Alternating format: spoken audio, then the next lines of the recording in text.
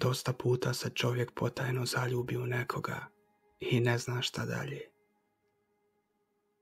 Plaši se svakog narednog koraka, jer može izgubiti ono što čak i nije njegovo.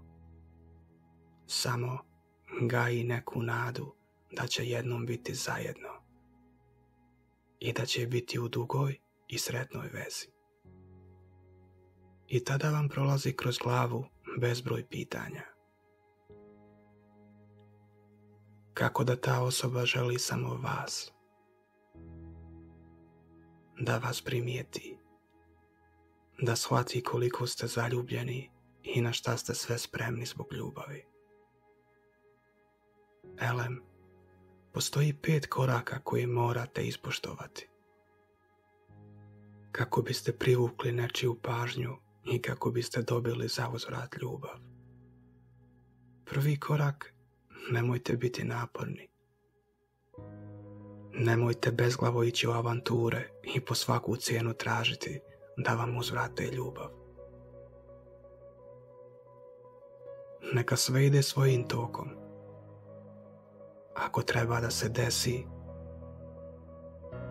desit će se. Ako je suđeno, ostvarit će se bez obzira na to koliko čekate. Samo polako. Bog uvijek spoji ljude koji trebaju biti zajedno. Drugi korak, budite pozitivni. Kada jednom stupite u konverzaciju, birajte vedre teme za razgovor. Ne čačkajte po prošlosti, ne zapitkujte stvari koje vas se ne tiču. Gledajte u budućnost i ono što bi tek moglo da dođe. Naravno, ako se razvije obostrana ljubav i uzajamno poštovanje. Treći korak, neka vas doživi kao nekoga na koga može uvijek računati. Slobodno mu recite da niste od onih koje je već poznavao da vam je bitno da vas partner razumije i da vi razumijete njega. I da se može javiti bez obzira koliko veliki problem ima. Ljubav je da se ljudi vole i u dobru i u zlu. Četvrti korak. Koliko god da ste zaljubljeni, ne idite preko svojih principa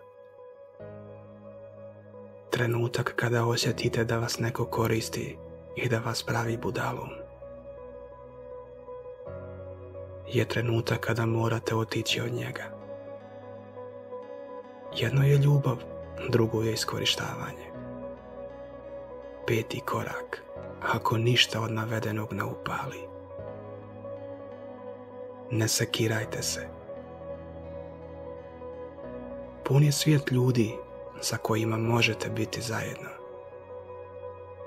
A vaše zdravlje je samo jedno. Čuvajte ga. Čuvajte živce.